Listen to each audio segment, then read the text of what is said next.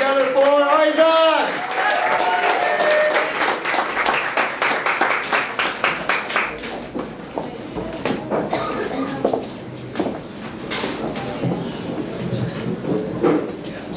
Good evening. I'm Isaac, as was said before. Sorry, I've been here for, uh, it's all just tied up in here. You got me roped in, man. I'm trying to move around like a goddamn caged animal. Here we go. Uh, yeah, I'm Isaac. I'm from Los Angeles, but I moved here six long years ago because I, uh, I hate earthquakes. And uh, I love architecture. And unfortunately for me, the oldest buildings in Los Angeles date back to the early 1980s. And uh, six, six years ago, I met a girl here on Google Earth. It's a great way to meet people. I'm saying keep up on your geography skills. Um, I work in tourism. Um, I'm a guide, which basically means I lie to people. Um, they give you a script and stuff, and you're supposed to memorize facts and stuff. But these, they don't know any better, and they get here and you point to a church. No, it's a castle. A count lives there. It was built by a blind monk in a pack of rabid squirrels. You can say whatever the fuck you want. Um, one of the benefits of tourism is uh, free beer. A lot of places bring people in and they give you free booze. And I got to know the owner of this place, uh, Little Glen. It's called about that tall. And um, he's a good guy. You guys might have seen him. He was on uh, last. He was on the cover of last month's edition of uh, Rich Guys with Big Dicks. And um, actually, when he came here, he started small. He uh, he opened uh, Bohemia Bagel. You guys live here? Familiar? No? So now it's like a massive chain. They're all over the place. But when it started off, it was like a modest business. It was just him in the back room punching holes in bagels with his dick. He was, uh, I think his record's like 13. That's why it's called the Baker's Dozen. I think that's part of his spiel. Anyway, um, I was in I was in New York last week. I went for some tourism conference, and uh, luckily it was Halloween. And uh, I'm American, and I've been kind of big for a long time, so I haven't really seen like the wholesomeness of Halloween. And it's if you haven't been in the States, it's amazing. It's it's gets a bunch of kids dressed up as like scary things, and it's it's really fun. And I'm sitting in the village and just watching people, you know, ask for candy and stuff. And there was a there was a couple that came up, and they were uh, they were perfect. He was uh, Fred Flintstone, and she was um, Wilma, and their daughter was a cowgirl. And I come up like, ah, what's the matter? I couldn't go to wear the fucking Pebbles outfit. Like thinking he's a New Yorker, he's not gonna talk to me, and he turns around, he's angry as fuck. He's like, bitch doesn't even know who the fuck she is. Tried to explain, Pebbles, it's part of the whole fucking family. I'm Fred, Wilma, watch the fucking cartoon. He's like, I wanna be a cowgirl, fucking bitch, what the fuck? I'm gonna eat her candy. He was like really angry. And the thing was watching the whole spiel go down too, like just, it was just, I could almost like just hear Christmas music coming around the corner. Like it was just, it was such a nice Americana, wholesome thing. And then this, this, this kid walks in with like a cigar in his mouth and a, I swear to God, giant trucker hat, huge letters across the front. It says, I came here to drink beer and fuck bitches. Yes, ruined the image for me. While I was in uh, New York, I got my hair cut. Uh, I walked in, it was like, he was an Orthodox Jew, I'm Jewish, and uh, he had like a, a kippah and everything. He started talking to me, and he's like, what do you want? I was like, well, I, my hair was down to here. And so I just needed to be long enough so I can tuck it behind my ears, but short enough so that it'll hide under a beanie, you know. And he was like, oh yeah, no problem. Like 20 minutes later, I give him 20 bucks, I walk outside and I do this, and I realize I look like a middle-aged lesbian. And, uh, thanks, slow-mo. Oh yeah, sorry. God, I can't believe that guy stole my bit. I, um, I brought a recording for you guys. Uh, God, mine's a little bit longer than his. I apologize. Anyway, it's a really, it's just a, it's a really clever, clever uh, observation on um, just contemporary art. Actually, I don't know. You hope you like this. And that's why Chinese bitches smell funny. No, that's not me. I'm sorry. I apologize. that was. I apologize. That was really weird. Anyway, if you like this show, uh, we're doing another one tomorrow on the Charles Bridge at 3 o'clock in the morning. I also have on December 5th, uh, we booked out the museum. Not the museum, under the museum, the Metro stop, not the green line, the red line. People always make that mistake. They end up watching the gypsy band, a bunch of amputees, fucking show offs. Anyway, um, we got here? Yeah, I'm gonna. I'm, I work in tourism, so I work with a lot of different types of drunks. Um, and I'm American, so I'm kind of used to it's like the vanilla of drunks. It's not really exciting. It's really simple. "Eh, I should probably go home. And um, and then I got here and I'm dealing with like Aussie drunks, and it's a whole other level of like aggression. And uh, and I saw these these kids that I know. It was in the bar about a month ago, and I saw these these Aussie kids, and I put on my best Aussie accent. I go, "Oh, I know that cunt." And the guy turns around and goes, "Hey, Isaac, how you going, mate?" And he comes over and he says, uh, he says, "It's pretty good fucking Aussie accent, mate. Can you fucking do it again?" I go, "Yeah, sure." So I point off in the middle distance. Now I'm not pointing at anybody. I go, oh, I know that cunt. And as I did it, this fucking random, and he's blind drunk, like fucking days behind him, just, and he looks over and he sees me pointing at him, and he comes over and he looks at me, and I can just see in his eyes that it's all just happening on TV for him. Like it's not even real. And he just goes, you can't call me a cunt. And I go, oh, and I'm like half a beer in. I'm pretty fucking sober at this point. So I start explaining myself, and I'm like, you gotta understand, sir. It was a, it was a misunderstanding, actually. Um, what happened was I saw a friend of mine here just a moment ago, and I pointed to him, and I did my Aussie accent. I feel pretty proud about it. And I was like, hey, oh, I know that. cunt." He came over, and he complimented me on my accent. And he says, hey, can you do that again? And I said, sure. Pointed to the middle distance. I said, oh, I know that cunt. You walked into my vision. I'm sorry. I apologize. I pointed right at you. It was a big misunderstanding, so I'm sure you understand. He looks at me and goes, you can't call me a cunt. um, and actually, sometimes in Europe, they don't even have to be fucking drunk. And that's the thing. It's a true story. Happened to me like a month. Uh, no, sorry, a week ago. It's a week ago. I, I'm, I'm in. Uh, I'm at the Prague airport, and I'm dropping off like flyers for tourism and some tourist information. It's just the worst part of my job.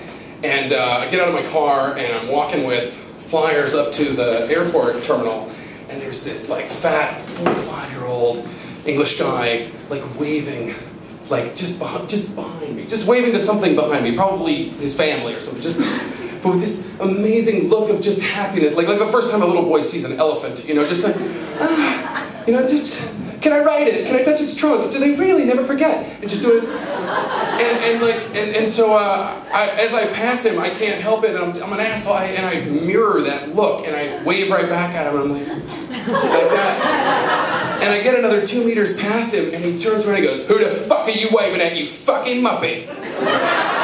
And I get like another meter, and I'm like, Oh, fuck. Oh, I'm gonna say, he probably thinks I don't speak English, you know, whatever. You can say whatever you want. People don't speak English, I turn around, Are you really getting aggressive over that? Is that really bothering you? He goes, I'm waving my fucking family, and you're making a fucking joke. I'm like, Oh, I'm sorry, man.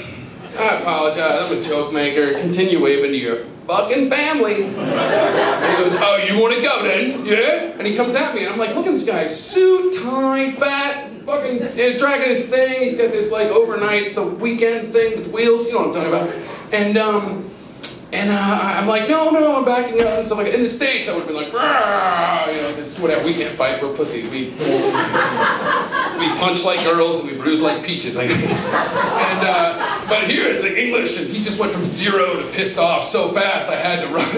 I was like, no.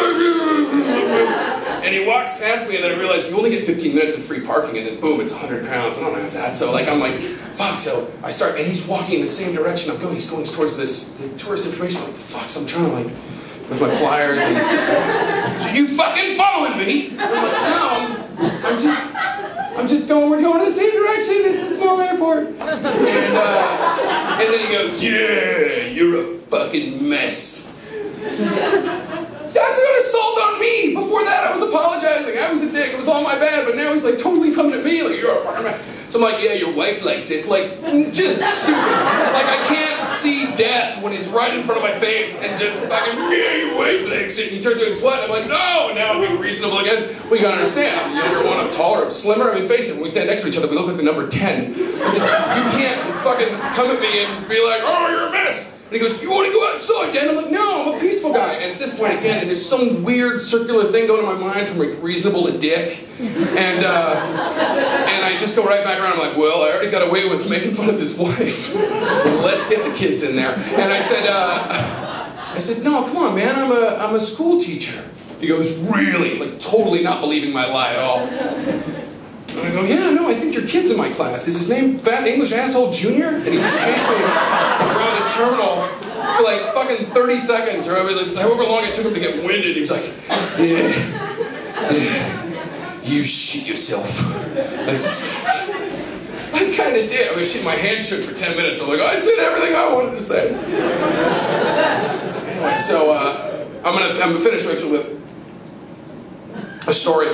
True story. Um, uh, it's, it's, it's something that like in my it happened peripherally. Like I really didn't want to learn about Czech history when I started being a guide. And then I, I was reading about uh, in 2002 there was a flood here. A lot of you guys have been here for years and remember the flood. No, it was bad. It was biblical. It was massive. It was fucking huge. They flooded out the metro system.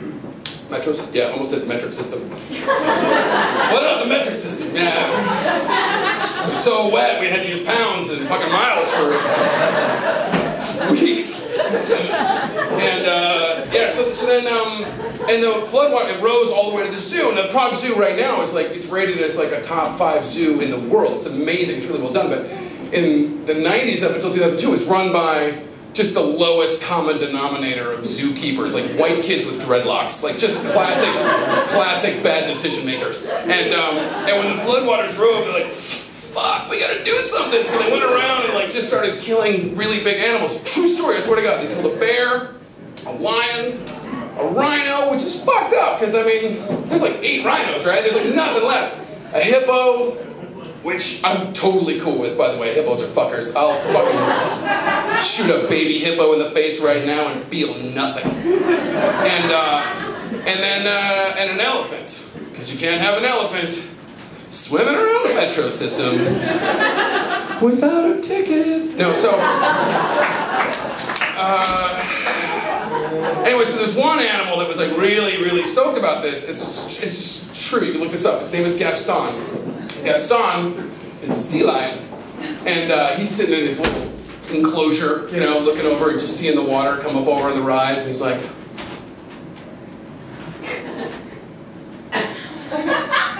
Go get my ball. Dives into the water, swims upstream, laughing, turn around every now and then. Makes it all the way to Dresden. This is true, hand to God. Anybody ever been to Dresden? Shithole. Yeah. We actually wanted to start a pub crawl in Dresden so we could sell uh, t-shirts that say, uh, I got bombed in Dresden. And, um, sorry to get political on you. So, uh, yeah, so anyway, he gets there and they find him and they bring him back and he dies. Oh, oh, oh, yeah, yeah, the fucking animal you didn't know existed until just now is dead. Yeah. No, he's fine, he's fine. He's actually, he's up at the zoo now. They do a show every day. There's a woman who comes out, and speaks like 17 languages. Like, yeah, it's Gaston!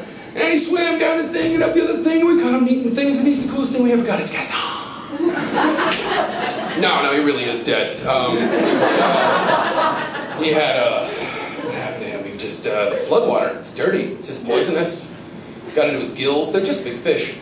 And, um, yeah. No, he's fine. He's fine, actually. You can, it's true. You can go to the zoo. You can go tomorrow. You're like, is fucking Gaston real? Like, did you see Isaac's show? No, he's fine.